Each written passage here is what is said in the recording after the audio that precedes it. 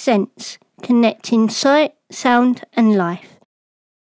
This is the Zara Show. Hi, lovely people out there.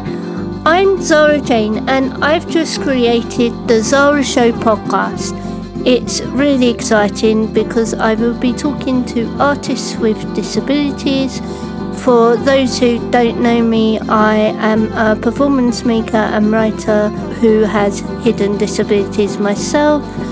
I connected with a charity called Sense and said, you know, I want to do a podcast. And they were like, let's do it then. And so here we are.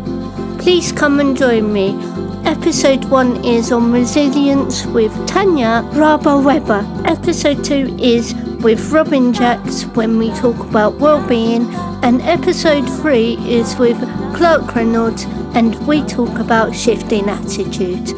It'll be an amazing journey for you as well as me.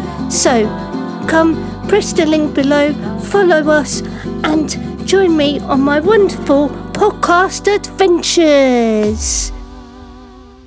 Sense, connecting sight, sound, and life. No one left out of life no matter what.